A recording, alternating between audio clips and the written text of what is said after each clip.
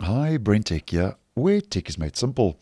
So, as I have been posting, Microsoft is working on a redesign of the Edge browser, which they are codenaming Project Phoenix, that they say is designed to differentiate Edge from other browsers with a new user interface like that of Windows 11. And as I have been posting, most of those user interface changes have already started rolling out to some degree or the other in Edge Canary, which is a preview version of the browser, which I have opened on my desktop. Now, in regards to uh, the Project Phoenix, I have posted a video on how you can enable the new Phoenix visual redesign in the stable version of Edge. And if you would be interested, I'll leave a link down below to that video in the description. Now, just a quick video to let you know um, that another change that we could see rolling out with Project Phoenix is that Microsoft now in Edge Canary version 116, which is the latest preview version of the browser, is now testing a darker user interface for Edge. So we can see things are looking a little bit darker uh, in Edge Canary than they are in the stable version, which is more a kind of a dark gray. Now, just to go through some of these um, uh, darker user interface adjustments. Uh, the first is here we get a full black background for the tab strip here at the top, as we can see.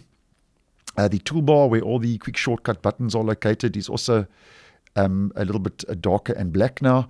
And if we just head up to the vertical tabs, here we go, we can see a lot darker and a full black. And then the uh, sidebar here on the right hand side is also a so-called full black color. Now just to compare this with the stable version to do a comparison because this will give us a good idea. Um, if we just open the stable version, you can see things are looking a little bit less dark, so to speak, where they have got this more of a dark gray color than a full black. Um, so just to do a quick comparison, here underneath we have the stable version and here on top we have Edge Canary.